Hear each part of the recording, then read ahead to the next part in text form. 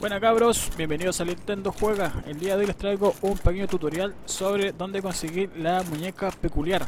Este artefacto lo sirve para viajar directamente al mundo pintado de Neamis. No sé si lo pronuncié bien, pero sin ese artefacto no podemos entrar. Así que acá te dejo el recorrido y la ubicación exacta de dónde se puede conseguir este objeto.